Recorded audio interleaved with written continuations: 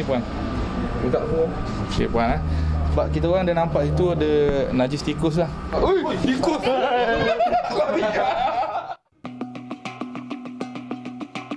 Itu penemuan menjijikkan apabila haiwan perosak iaitu tikus didapati bersarang di dapur sebuah restoran ketika pemeriksaan dilakukan oleh pihak berkuasa. Memang ada nampak tikus selalu ke kat sini kak? Lalu Selalu eh. kadang-kadang dia datang kita orang pun lari. Jabatan Kesihatan Negeri Selangor memperhebatkan op premis bersih dengan memeriksa 18 buah restoran di sekitar Kelang.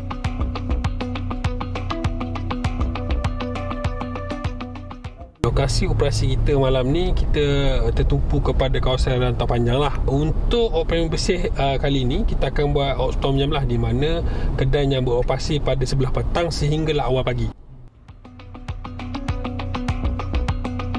Kehadiran enam anggota penguatkuasa di restoran masakan Thai ini pada jam 8 malam mengejutkan para pekerjanya yang sedang sibuk memasak di bahagian dapur. Siapa, siapa buat air? Yang adik yang gemuk tadi.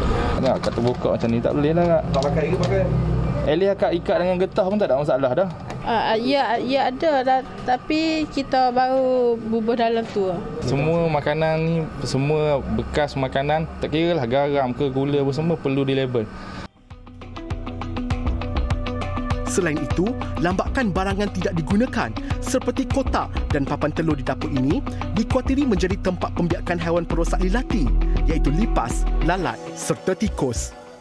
Kotak apa semua ni memang tak ada tempat lain dah ke nak simpan? Bekas blender itu ada beli. Lepas tu sayang nak buang kotak dia. Ni bekas apa ni kak? Lepas tu bekas yang tak pakai simpan. Semua bekas-bekas yang akak tak guna, yang jarang guna apa semua kan. Tak boleh disimpan dalam, dalam premis. Sebab kemungkinan dia akan jadi tempat pembiakan lipas, tikus dan sebagainya lah.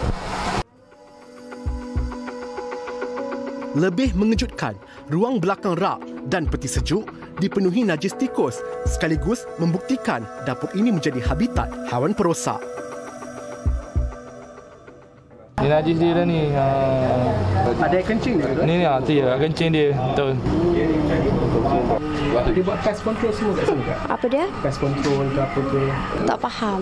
Semua pengendali makanan perlu tahu cara untuk kawal uh, premis daripada dimasuki oleh makhluk-makhluk perosak ni.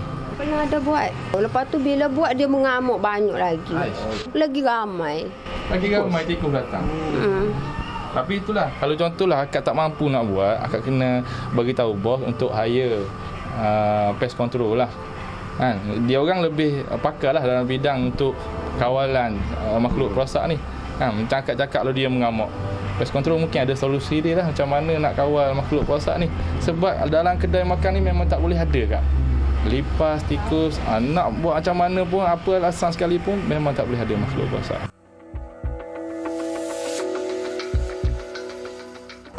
Bahan masakan di atas meja ini yang tidak bertutup dan juga longgokkan sisa makanan di dalam longkang di bawah sinki di dapur ini didapati menjadi punca kehadiran lilati di dalam dapur ini dan uh, lubang di atas siling ini dikesan menjadi laluan masuk buat haiwan tikus ke dalam premis ini. Pekerja premis ini mendakwa sengaja membiarkan kucing berkeliaran di bahagian dapur bagi mengatasi masalah tikus. Namun, kaedah itu jelas melanggar Peraturan-Peraturan Kebersihan Makanan 2009. Tempat penyediaan makanan tak boleh ada kucing, tak boleh ada anjing. Banyak kucing tak boleh nak paksa dia datang sebab orang kata kalau halau nanti rezeki sempit. Jadi kita dia datang kita bagi makan. Bukan selalu masuk siap dengan tidur. Okey, tak boleh ke? Cara penyediaan makanan yang dilakukan oleh para pekerja premis ini juga didapati tidak higienik sehingga dikuatiri boleh menyebabkan kontaminasi.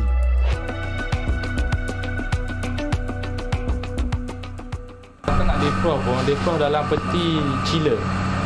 Peti, dia kan ada dua jenis peti. Freezer, chiller. Freezer ni peti beku. Satu lagi peti yang orang simpan sayur. Kalau akak buat macam ni ni, akan mungkin ada pencemaran silang lah sebab dia ada air lagi dalam tu lepas tu tak boleh simpan kena simpan secara kering. Jadi kadang-kadang saya seorang tak sempat juga nak jaga semua masing-masing ada tanggungjawab hmm. kan. Malah, terdapat segelintir pekerja premis ini tidak mematuhi etika mengendali makanan dengan merokok ketika memasak.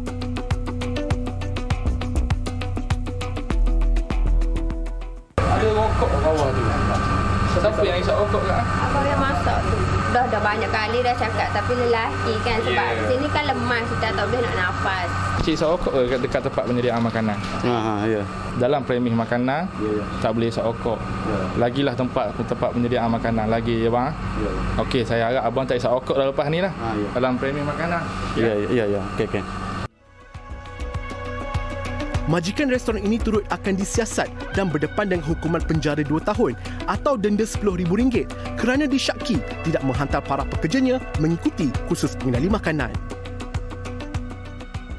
Ya, apa ni? Air cuci bekas. Air cuci macam bekas. Kalau buat air buah macam ni lepas tu ada air buah naik dalam air kita buang malam ni. Macam tu je. Cara nak basuh pinggan, basuh bekas kena dengan air yang mengalir. Ada pergi kursus bagi makanan tak? Kalau kedai sana ada. Ada. Ha. Tu cincin pakai boleh ke pakai? Tak boleh benarnya. Ha. Sementara itu, kesalahan sama turut dikesan di sebuah lagi restoran yang terletak kira-kira 500 meter dari lokasi pertama. Akak sebagai apa kat sini kerja? Ha? Sebagai apa? Masak ke apa? Masak pun masaknya je kuah apa ni? Roti canai aja tolong Oh, kat tolong lah, suami ya. lah. Tolong suami Kita nak tanya kenapa tu pakai kasut? tak ada apa. Ha? Kaki sakit ke? Ha sini tepi. Mana-mana tengok. Tepi. Tepi. Kenapa jatuh? Ha? Ha. Jatuh. Suhu peti pun tidak mencukupi lah. Untuk chiller dia mesti di bawah 10 darjah Celsius. Antara 0 hingga 10 lah. Macam ni 20 Dia kalau dah tebal kena nyah beku. Nyah beku barulah dia sejuk balik. Ha, so kalau macam ni memang letak makanan apa dia tak tak tak elok lah. Ya betul. Ha, cepat basi. Majikan berusia 63 tahun ini mengakui tidak pernah mengikuti dan menghantar para pekerja yang terdiri daripada ahli keluarganya ke kursus pengendali makanan.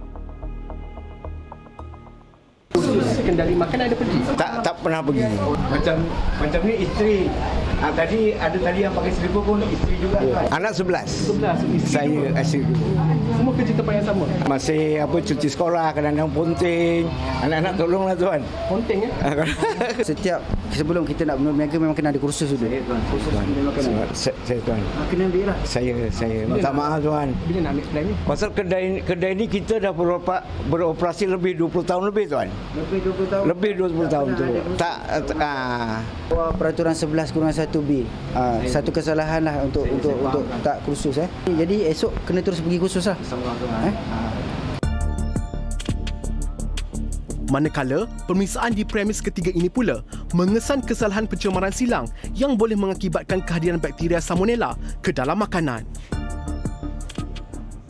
Makanan ni memang boleh uh, berlaku pencemaran silang lah. Cik, cik tak perasan mungkin lipas datang, tikus datang. Ha, jadi makanan ni dalam setiap keadaan kita kena lindungi lah, tutup. Ha, macam ni peti sejuk ni, walaupun kita dah letak dalam peti, makanan mesti simpan dalam bekas bertutup. Macam sekarang ni bertimbih kan. Ha, jadi bahagian bawah ini menyentuh makanan. Ni boleh berlaku juga pencemaran silang lah. Perkakas dapur dan peralatan hidangan juga didapati rosak serta kotor sehingga boleh mengancam keselamatan para pelanggan. Uh, chopping board ni guna untuk apa ni? Untuk apa ni letak tu je. Untuk? Tai-tai ni. Tak, mesti ada guna potong ni. sebab Yelah. Nampak pisau dekat sini. Ha, pisau ni sini ya. Potong buah lah kan? Ha. Ha, so chopping board kayu ni memang tak boleh pakai tahu kan? Ha, so kena pakai yang plastik. Sebab apa? Sebab abuk kayu nampak dia boleh melekat pada makanan. Ha, so kalau basuh pun chopping board ni memang tak boleh cuci.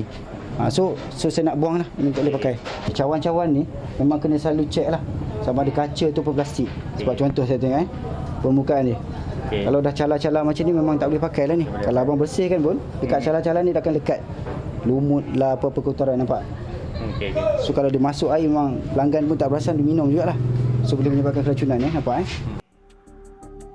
Hasil operasi, 31 notis compound bernilai RM17,200 dikeluarkan dan dua premis makanan diarahkan tutup selama 14 hari mengikut Seksyen 11 Akta Makanan 1983.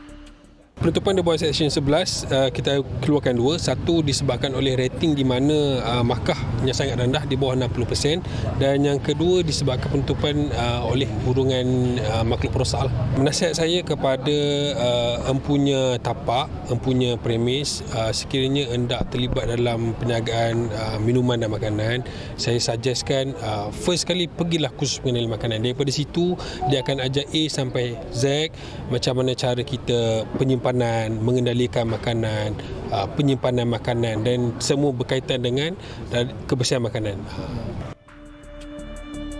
Operasi tamat pada jam 1 pagi. Laporan Tun Hizami Hashim 999